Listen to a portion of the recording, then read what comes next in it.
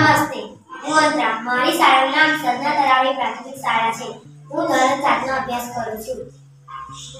નમસ્તે. મારું નામ ધ્રુવિશા છે. હું ધોરણ સાતમાં અભ્યાસ કરું. મારી મારી શાળાનું નામ સદના તરાવડી પ્રાથમિક શાળા છે.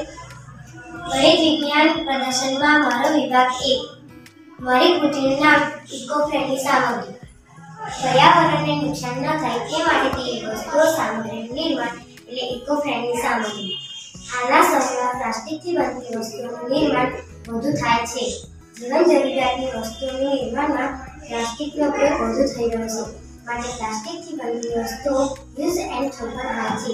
જેથી તેનો ઉપયોગ કર્યા પછી તેને નાખી દેવામાં આવે છે.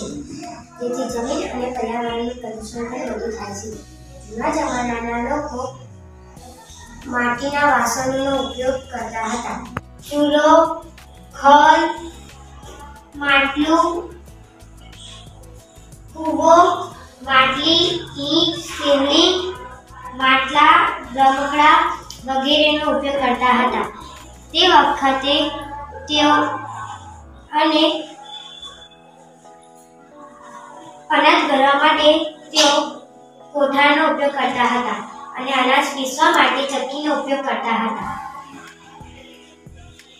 જેથી એ વખતે તેઓ રોગોથી બચતા હતા અને જમીન અને પર્યાવરણનું પ્રદૂષણ પણ થતું ન હતું.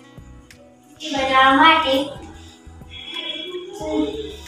પૂઠ- ઘર પૂઠાની કચરા પેટી, ન્યૂઝપેપરમાંથી કચરા પેટી પૂઠામાંથી ઘર બનાવી શકાય શકાય છે, ચોકલેટ બોક્સ બનાવી શકાય છે, ચકલી ઘર બનાવી શકાય છે,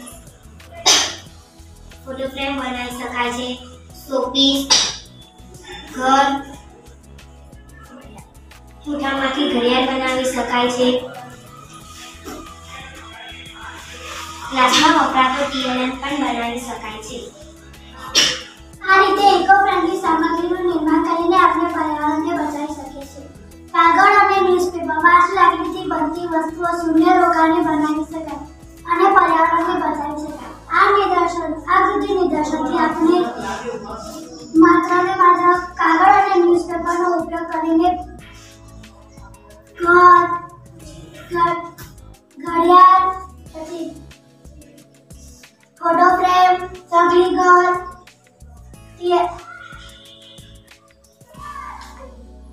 ન્યૂઝપેપરથી કચરા પેટી ઘડિયાળ પણ બનાવી શકાય છે. અને ક્લાસમાં વપરાતા ટીએલએમ પણ બનાવી શકાય છે. તમે પણ ઇકો ફ્રેન્ડલી સામગ્રીનો ઉપયોગ કરી પર્યાવરણને બચાવી શકો છો. અસ્તુ.